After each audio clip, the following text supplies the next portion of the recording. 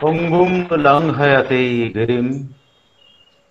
যৎকৃপা ত্বমৌহং বন্দে। পরমানন্দ মাধবম। পরম দয়াল ঠাকুর আমার। পরম আরাধ্যা জগজ্জননী। লক্ষ্মী স্বরূপিণী শ্রী শ্রী বড়মা।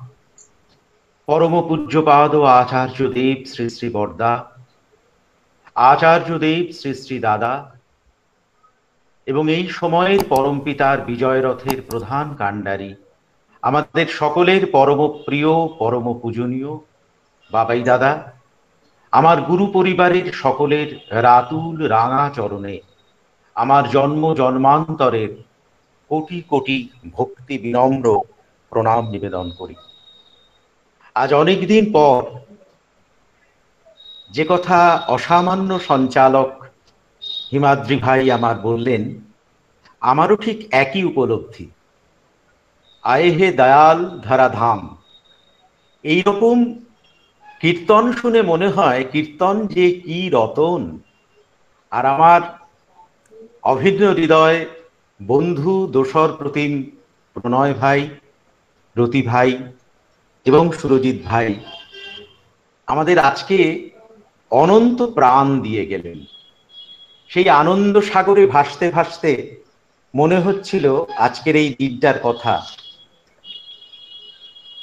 যেদিন জাতির জনক মহাত্মা গান্ধীর জন্মদিন, সৃষ্টি ঠাকুরের সঙ্গে তার দুবার দেখা হয়েছিল। একবার তিনি হিমায়তপুর আশ্রমে গিয়েছিলেন, আর একবার দেখা হয়েছিল কলকাতায়। দেশবন্ধু চিত্তরঞ্জন দাস তাকে বলেছিলেন ঠাকুরের কথা। দেশবন্ধুর শ্রাদ্ধ বাসরে এসে মহাত্মাজি বলেছিলেন, ঠাকুরের সংস্পর্শ পাওয়ার পর একজন মানুষ কেমন করে সম্পূর্ণ বদলে যেতে পারে তা আমি দেশবন্ধুকে দেখে বুঝেছিলাম। এত মিষ্টি লেগেছিল ঠাকুরের সংস্পর্শ পাওয়ার পরে তাকে যা আগে কখনো দেখিনি।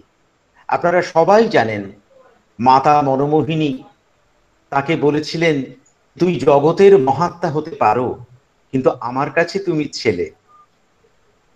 ঠাকুরের কাছে এসে পরবর্তী সময় মহাত্মাজি বলেছিলেন, আপনার আশ্রম থেকে ঘুরে আসবার পরে দু ধরনের প্রতিক্রিয়া মানুষের কাছ থেকে এসেছে আমার কাছে। একদল আপনারকে খুব প্রশংসা করেছেন। বলেছেন যে আপনি সত্যি রাত্রির গভীর বৃন্দ থেকে ফুটন্ত সকালটিকে ছিনিয়ে আনতে পেরেছেন। রুখা সুখা মাটিতে জীবনের রক্তকরবি ফোটাতে পেরেছেন। আর একদল কিন্তু আপনার নিন্দে করেছেন। ঠাকুর, তার কোলে মাথা রেখে শুয়েছিলেন। বালকের মতো।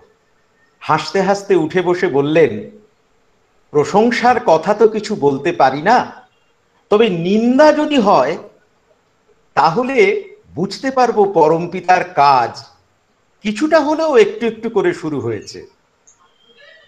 নিন্দা পর্ব ভূষণ করে কাঁটার কণ্ঠহার। শ্রী শ্রী ঠাকুরের সারা জীবনের এটাই ছিল সাধনা। আর তিনি আমাদেরকে শিখিয়ে গেছেন কেমন করে দোষ দেখা এবং পরনিন্দা এই দুটি ত্রুটি এবং বিচ্যুতি থেকে আমাদের দূরে থাকতে হবে। রাষ্ট্রের ক্ষেত্রে বলুন, ব্যক্তি জীবনে বলুন, স্বামী স্ত্রীর ক্ষেত্রে বলুন, সব ক্ষেত্রে কিন্তু একটি বর্গ আরেকটি বর্গের দিকে আঙুল তুলে আছে। এই তুমি দায়ী, এই তুমি দায়ী, এই তুমি দায়ী। কিন্তু যখন বলছি, আমার দিকে কিন্তু আমার বৃদ্ধাঙ্গুষ্ঠটি রয়েছে।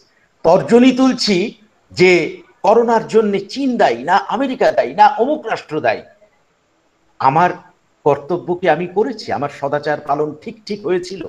তাহলে কি আসতে পারতো এই একটা ছোট্ট জীবাণু তা আমাদের সমস্ত চেনা জানা এই গ্রহটাকে উল্টে দিতে পারত?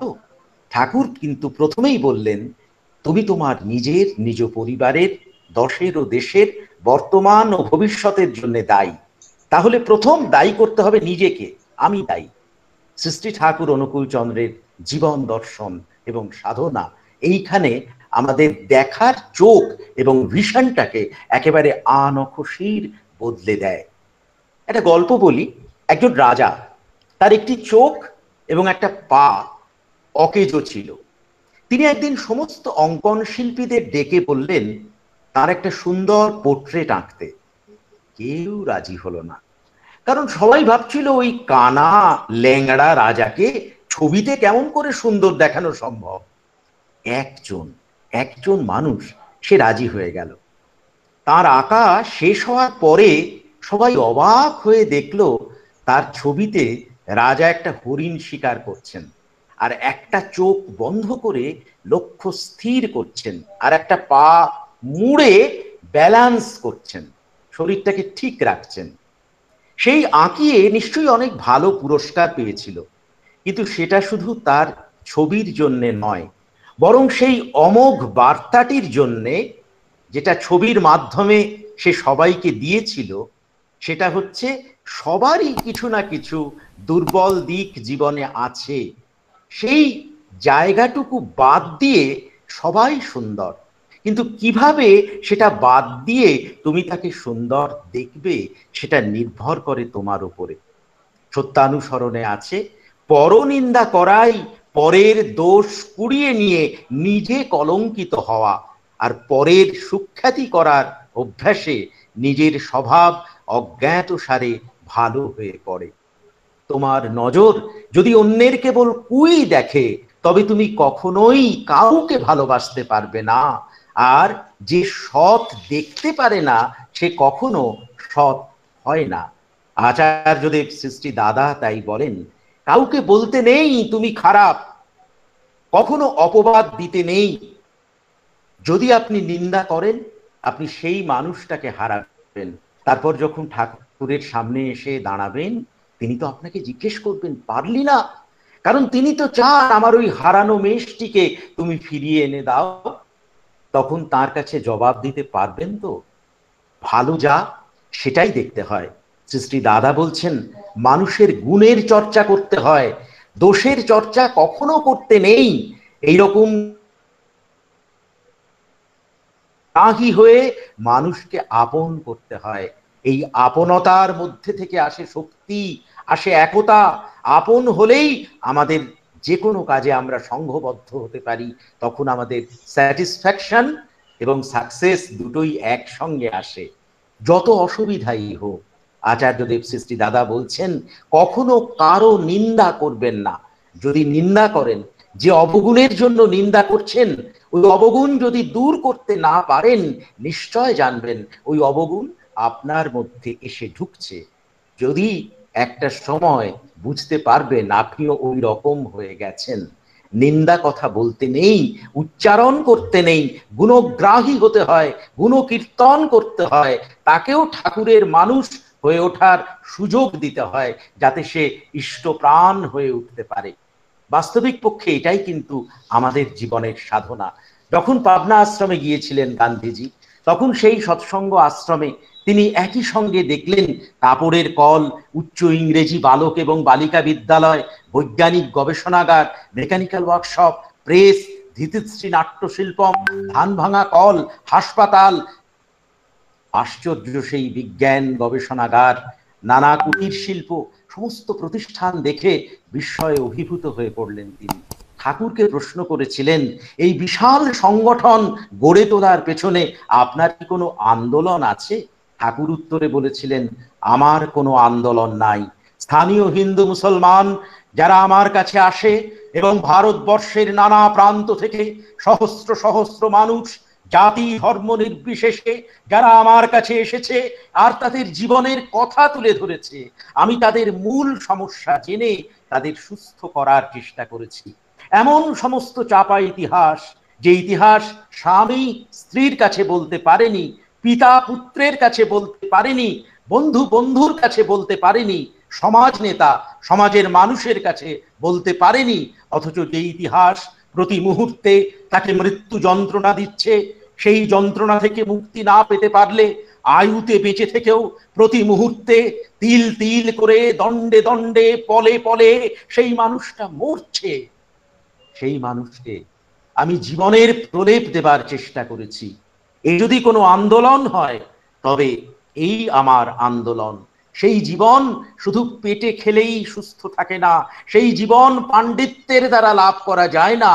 যে জীবন মহৎ, আদর্শযুক্ত নয়, যে জীবন লিভিং আইডিয়ালের কাছে বলি প্রদত্ত নয়, যে জীবন নিজ খেয়ালের যুপকাষ্ঠে গলা দিয়ে আর্তনাদ করছে, যে জীবন মৃত্যুর উপকরণ নিয়ে পুতুল খেলা খেলছে, রক্ত, মাংস, সংকুল, নরদেহধারী হয়ে বারবার পুরুষোত্তম অবতারেরা এসে আমাদের সেই অসহনীয় জীবন থেকে সমস্ত বাধাকে বাধ্য করে, সমস্ত নাকে হ্যাঁ করে, সমস্ত ভুল রূপে ফুটিয়ে তোলেন, ফুল করে।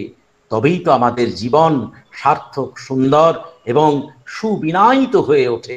ঠাকুর হঠাৎ একদিন বড়াল বাংলোতে বসে রয়েছেন। বহু ভক্ত মানুষ রয়েছেন সেখানে। ঠাকুর বললেন, এই তো যদি কেউ নিন্দা করে, হিংসে করে ঈর্ষে করে, তোর শালা কিংবার লাগে কবে পারিস?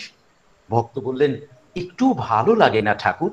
তার উত্তর শোনার পর তার পাশের জনকে, তার পাশের জনকে বারবার করে দয়াল জিজ্ঞেস করছেন, আর সেই কথাটা বৃত্তাকারে সারা ঘরের মধ্যে ছড়িয়ে যাচ্ছে। এই তোক যদি কেউ নিন্দে করে, কেউ হিংসে করে, কেউ ঈর্ষা করে, তোর কিংবা লাগে কবে পারিস? এক সময় সবাই মিলে বললেন, একদম ভালো লাগে না ঠাকুর। সকলের কথা শোনার পর চতুর্দিক একেবারে নিস্তব্ধ হয়ে যা গেছে। ঠাকুর দুটো হাতের কোনুই হাঁটুর ওপর রেখে ওই দুগ্ধ ফেননিব শয্যা থেকে একটু করে ঝুঁকে এসে বলছেন যার শালা কেউ পছন্দ করে না, চায় না, ভালোবাসে না, তা কি করে টিকে আছে? আমাদের সংসারে উয়ে ঘরের সংসারে, এই সমাজে রাষ্ট্রে, তা টিকে আছে কেম্বায়? ক দেখি? ঠাকুরের জিজ্ঞাসার উত্তর কেউ দিতে পারছেন না। শুধু ঘরের পেন্ডুলাম ঘড়িটি টিকটক টিকটক টিকটক আওয়াজ করছে। পিন পতন নৈশব্দ সেই পিন ড্রপ সাইলেন্সের মাঝখানে ঠাকুরের চোখ সার্চ লাইটের মতো চারদিকে ঘুরে চলেছে। এক ভক্ত হঠাৎ হামাগুড়ি দিয়ে এসে বললেন, ঠাকুর, আপনি তো জানেন যে আমরা কি মেঘদারে। তো আপনি কষেন না কে? কি করতে হইব? ঠাকুর সঙ্গে সঙ্গে বলছেন it is a self centric passionate last একটু বাংলা করে কন ঠাকুর ভালো করে বুঝতে পারি। আত্মকেন্দ্রিক প্রবৃত্তি মুখর আসক্তি। আর এই আসক্তির জন্যে একজন ছাত্র ভাবছে, মাস্টার, ও তো ক্লাসে বসে ঘুমোয়, আর টিউশন করে বাকি পয়সা রোজগার করে বারবার বিদেশে ট্যুর করতে যায়। আর মাস্টার মশাই ভাবছেন, ও তো পড়াশোনা করবে না, তারপর আবার আমাকে ঘেরাও করবে। ঘেরাও করে ফেল করে পাশ করাবার চেষ্টা করবে। একজন উকিল ভাবছেন যে, ও তো যদি জিততে না পারে, তাহলে আমাকে আক্রমণ করবে। আর ও বলছে, আমাকে কপরদক শূন্য করার জন্যই তো আমাকে মক্কেল রেখেছে। ডাক্তার ভাবছেন যে একটু যদি কোনো ক্রমে রোগী মারা যায়, তাহলে কিন্তু আমার পিঠের চামড়া থাকবে না। আর ও তো বলছে রোগী ভাবছে, আমাকে সর্বশান্তপুর করার জন্যই লোকটা এসছে। এই জন্য আমরা পরস্পর পরস্পরের দিকে আঙুল উঁচিয়ে রয়েছি। ঠিক সেই অবস্থায় যেমন রাষ্ট্রে রাষ্ট্রে, যেমন স্বামী স্ত্রীর মধ্যে স্বামী বলছেন যে, ছেলে মানুষ হচ্ছে না তোমার জন্য, স্ত্রীকে। স্ত্রী বলছেন, তুমি এর জন্য দায়ী। এইভাবে চতুর্দিকে একটা বর্গ আর একটা বর্গর দিকে যখন আঙুল উঁচিয়ে রয়েছে শ্রী ঠাকুর অনুকূল চন্দ্রের জীবন দর্শন, আচার্য দেবের জীবন দর্শন, আচার্য পরম্পরা আমাদের বলছে, তুমি আগে তোমার নিজের দিকে তাকাও। আমার মনে হয় পৃথিবীর কাছে এটা একটা ইউনিক বিষয়। অর্থাৎ সেইখানেই কিন্তু জুড়িয়ে, জড়িয়ে যায় অমোঘভাবে যজন যাজন ইষ্টভীতি নাম ধ্যান এবং সুবিবাহ, সুপ্রজননের প্রসঙ্গ। বাস্তবিক পক্ষে ঠাকুর থেকে শুরু করে আচার্যদেব দাদা কিংবা বাবাই দাদার কাছে গিয়ে আমরা কজন বলি, আপনি ভালো থাকুন, আপনি ভালো থাকলেই আমরা ভালো থাকব। আমরা আমাদের স্বার্থের কথা বলি, আমরা মামলা মকদ্দমার কথা বলি, আমরা স্বীকারোক্তির কথা বলি। ছেলে প্রচণ্ড অ্যান্ড্রয়েড ফোনে আসক্ত হয়ে গেছে। ছেলে কিন্তু আমার কথা শোনে না। আমরা অভিযোগ নিয়ে যাই, আমরা অভাবের কথা বলি। সারা দিন নীলকণ্ঠের মতো মহাদেবের চেলা তিনি বলেন, আমার পূজনীয় বাবাই দাদা বলেন, তাহলে এইটুকু বিষ তো হজম করছি এবং প্রতিদিন তারা এই হজম করতে করছেন। আমাদের মতো প্রাইভেট স্পেস তাদের নেই। হাট হাট, একেবারে খোলাখুলি শিবের সংসার। সেখানে স্বাভাবিকভাবে কোনো চৌকাঠ নেই, কোনো আগল নেই। তো সেখানে ঠাকুরের সময়টাও তেমনই ছিল। ঠাকুর সেদিনকে বসে সৃজন প্রগতি নিয়ে আলোচনা করছেন। যার কাছে রাজনৈতিক তত্ত্ব জানতে ঢেউয়ের পর ঢেউয়ের মতো জনসমুদ্র আছড়ে পড়ে। একদিকে বিপিন ঝোলাকিয়া কৃষ্ণভাই দেশাই, কৃষ্ণকান্ত দেশাই, কখনো আমরা দেখতে পাচ্ছি সেখানে ভিড় করেছেন সাগর পার ডিঙিয়ে রেয়ারচার হাউজারম্যান স্পেন্সার, লুটম্যান, আমরা দেখতে পাচ্ছি ইটালির ক্যারি ব্রেসকে, আমরা দেখতে পাচ্ছি একের পর এক সারা ভারতবর্ষের রাজনৈতিক নেতৃবৃন্দকে, যেমন গান্ধীজি, তেমনি নেতাজি সুভাষচন্দ্র বসু, পরবর্তীকালে কমিউনিস্ট নেতা পিসি যোশী কিংবা বঙ্কিম মুখোপাধ্যায়, তাদের সঙ্গে ঠাকুর রাজনীতি, অর্থনীতি, দর্শন, সমাজনীতি, সাহিত্যের ক্ষেত্রে শরৎচন্দ্র, বিভূতিভূষণ, তারাশঙ্কর, ঢেউয়ের পর ঢেউ। কিন্তু অপান্তেও ব্রাত্য অন্তচ যে মানুষটি ঠাকুর কোনোদিন তাকে ত্যাগ করেননি। আমার গুরুর চরণ তলে, শুধুই কিরে মানিক জলে? আমার গুরুর আসন কাছে, সুবোধ ছেলে কজন আছে? অবোধ জনায় কোল দিয়েছেন, তাই আমি তার চেলারে। তাই মাতাল হেমকবি সেও কিন্তু সুরা ছেড়ে সুরের নেশায় আসক্ত হয়ে পড়ে। নেশা থাকে সুরা থেকে সুরের জগতে। আমরা অসামান্য সেই গান আচার্য দেব দাদাকেও গাইতে শুনেছি তোমার মাঝে আমার আমি হয়ে আছি। আমি হারা, সারা বিশ্ব সেই হেমকবির গান শুনেছে। ঠিক যেমন করে রত্নাকর দস্যু বাল্মীকি মুনিতে পরিণত হয়, মেরি ম্যাকডিলিনি ভক্ত ম্যাকডিলিনিতে পরিণত হয়, নটি বিনোদিনী বধু বিনোদিনীতে পরিণত হয়। যেমন করে ভক্ত ভৈরব হয়ে ওঠেন মদ্যপ গিরিশচন্দ্র, নাস্তিক রণেন্দ্রনাথ, বিশ্ববরেণ্য বিবেকানন্দ হয়ে ওঠেন সৃষ্টি ঠাকুর অনুকূল চন্দ্রের আন্দোলন, এই রূপান্তরের আন্দোলন, এই পরিবর্তনের আন্দোলন, এই বিং অ্যান্ড বিকামিং এর মাধ্যমে জীবনকে নতুন করে তোলার আন্দোলন। তাই তার হাসি থেকে হাসি, বাণী থেকে বাণী, প্রাণ থেকে প্রাণ, কথা থেকে কথা, চাউনি থেকে চাউনি, জীবন থেকে জীবন, যাপন থেকে যাপন, আমরা চৈতন্যের আঁচলে গেঁথে দিগন্ত থেকে দিগন্তে ছড়িয়ে দেবার কাজে আজ ব্রতী হয়েছি। আজ সেখানে সারা বিশ্ব এক টানে বলছে কুড়িয়ে নে তুই অমর চলন। চল ভেসে চল, মলয় বায়। জীবনটা তো কোলাহলই, কোলাহল হলাহল এগুলো পিছন ধাবেই কিন্তু অমর চলন, চারিদিক হতে অমর জীবন, বিন্দু বিন্দু করি আহরণ। আপনার মাঝে আপনারে আমি পূর্ণ ফেরিব কবে? ঠাকুর কথা বলতে বলতে হঠাৎ অবাক হয়ে চুপ করে গেলেন। খুব উচ্চ স্তরের কোনো প্রসঙ্গ হচ্ছিল। নালিশ জানাবার জন্যে, কারও নিন্দে করবার জন্যে ওই গাল ফুলিয়ে রাগী বেড়ালের মতো দুটো ল্যাংচা মুখে দিয়ে যেমন হুম মুখটা হয় এই রকম করে রমন সাহার মা হুম হুম করতে করতে আসছেন। ঠাকুর হঠাৎ বলছেন, মানুষ, গরু, সাবধান সাবধান সাবধান, দেশে আইলো ভগবান ভগবান ভগবান। ঠাকুরের কথা শেষ হতে না হতেই রমন শর্মা একেবারে সামনে এসে হাজির। তিনি তাকে কিছু উগরে দেবেন, কিছু নিন্দে, কারোর বিরুদ্ধে কোনো আক্রোশ উগরে দেবার জন্যই তিনি এসছেন। আমরাও তো কখনো আমার সন্তান, কখনো আমার স্ত্রী, কখনো আমার স্বামীর বিরুদ্ধে উগরে দিয়ে আমার মনটা খানিকটা শান্ত হয়ে যায়। তিনি যে কত সেই হজম করতে পারেন, ঠাকুর বলছেন মানুষের জন্য ভিক্ষা করতে করতে আমার হাতের দুই তালু শক্ত হয়ে গেছে। মানুষের যন্ত্রণার কথা শুনতে শুনতে আমার দুই কান বধির হয়ে গেছে। মানুষের জন্য ভিক্ষা চাইতে চাইতে গলার নলি শুকায় গেছে, সুপুরি দিলে পড়ে যায়। তাই আমি বারবার করে বলি যে শিক্ষা দীক্ষার বিবাহ, এই তিনটে জিনিস আপনারা ঠিক করে দেন। শুনবে কি? কথা রাখবে কি? আবার বলি, শুনবে কি? তোমার ঘরের কোন মেয়ে কোন পুরুষে বিয়ে দিয়ে সঙ্গতি তার কেমন হয় খতিয়ে নিয়ে দেখবে কি? নিছক বেকুব যদিও আমি। আমার কথা শুনবে কি? আমার কাতর রাজ রাজভিখারী দয়াল, তিনি আকুল স্বরে ভিক্ষা চাইছেন আমাদের কাছে একটা সত্যিকারের মানুষের মতো মানুষ। বড় দুঃখ করে বলেছিলেন, বড় খোকা ছাড়া কাউকে তো দেখি না যে আমার জোয়াল এইভাবে বইতে পারে। সেই কারণেই সেই উত্তরাধিকার সত্যিকারের শিষ্য এবং সন্তান হয়ে সানবাই বাট সানবাই কালচার হয়ে আমার সে শ্রীবর্দা বহন করেছেন।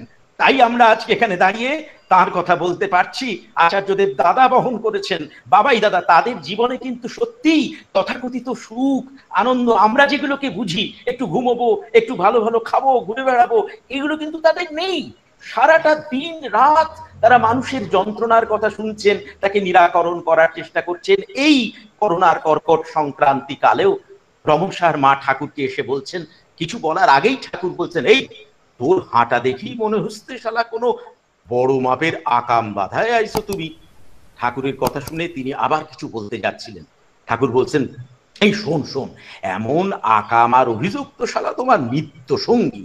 তা বলেই তিনি তার চেহারাতে ভাবে ভঙ্গিতে একটা অপূর্ব রঙ্গরসিকতার ভাঁজ তুলে বললেন, আরে এরা তো তোমার সঙ্গে আসেই তো একটা ভালো, দামি বেনারসি, আর তো রোজ রোজ তুমি পড়তে পারো না। কি? কও কি? একটা দামি, ভালো বেনারসির কথা শুনেই ওই যে রাগের সমস্ত তীব্রতা, সেটা হঠাৎ গলে জল হয়ে গেছে। এই না হলে মনস্তাত্ত্বিক চিকিৎসক। ঠাকুর বলতেন, মাই ঋত্বিক্স আর সাইকো ফাইটার্স। অর্থাৎ মনস্তাত্ত্বিক যোদ্ধা, আজকে আমরা বিহেভিয়ারিয়াল থেরাপির কথা বলি। আজকে যারা সাইকোলজিস্টরা কাউন্সিলরদের চেম্বারে ক্রমশ ভিড় বাড়ছে, ক্যান্সারের থেকেও আগামী দিনে এই অবসাদ, এগুলো বড় হয়ে উঠবে। যে রমন সাহার মা শক্তি সংঘের পাশে পাবনায় তিনতলা বাড়ি ছিল দেয়াল দেয়া, তিনি তার মানে এক বিধবা মানুষ সর্বরিক্ত কপর্দক শূন্য হয়ে সমস্ত তার গ্রহচ্যুত হয়ে তিনি এসেছিলেন নিরাশ্রয় অবস্থায় ঠাকুরের কাছে। ঠাকুর সেই মানুষটির মধ্যে সমস্ত কমপ্লেক্সের একটা সমাহার দেখেছিলেন। একজন আর্টিস্ট যেমন করে দেখে, একজন একটা মডেলের মধ্যে সমস্ত কমপ্লেক্স ঠাকুর তাকে পরীক্ষা করেছেন, কিন্তু ঝগড়ার মধ্যে দিয়ে ঝলমল করে উঠেছে তার জীবন। কখনো তার হাঙ্গার কমপ্লেক্স, কখনো অ্যাঙ্গার কমপ্লেক্স। ঠাকুরের চিকিৎসা চলছে। বিহেভিয়ারিয়াল থেরাপি টক থেরাপি এবং একই সঙ্গে মনস্তত্ত্বগতভাবে একটা মানুষকে মুক্তির চেষ্টা। ঠোঁটে মিষ্টি হাসির সেই ঝর্ণা নেমে আসছে। চাউনিতে সেই চাউনি যার দিকে তাকিয়ে বলতে ইচ্ছে করে, কেটেছে একেলা বিরহেরও বেলা, আকাশ ও কুসুম চয়নে, সব পথ এসে মিলে গেল শেষে তোমার ও দুখানি নয়নে। তিনি সেই নয়ন দিয়ে তাকিয়ে রয়েছেন। ঠাকুর বলছেন, আমি তোমার জন্যই একখানা নীল রঙের দামি বেনারসি আনছি রমনের মা। রমনের মাকে দেখতে ছিল বেটে, মোটা, কালো, সারা মুখে কপালে বলি রেখা অনেক বয়স হয়ে গেছে, চামড়া চৈত্র বৈশাখের মাটির মতো কুচকানো চোখ দুটো মজা পুকুরের মতন, তাকে ঠাকুর নীল রঙের সুন্দর বেনারসি পড়াবেন তাকে তার ছেলে মেয়ে তাড়িয়ে দিয়েছে, তাকে খেতে দেয়নি। দিনের পর দিন না খাওয়ার যন্ত্রণাকে দয়াল নিজেও তো বুঝেছেন, তাই চির সুখী জন ভ্রমে কি কখন? ব্যথিত বেজন বুঝিতে পারে, কি যাতনা শেষ কিসে? বুঝিবে সে কিসে? প্রভু আসিবি সে দংশে নিজারে। তার আনন্দের জন্য একশো এক পদ দিয়ে রান্নাও করে খাইয়েছেন। কখনো বা প্রশংসা করেননি তিনি। বালু বালু ঠেকতিছে। ভেতরে যখন ক্ষীর ক্ষীর খোয়া ক্ষীর দেয়া ছিল। সুধীরদার মিষ্টি খেয়ে তিনি বলছেন, ঠাকুর এ বড় বালু বালু ঠেকতিছে।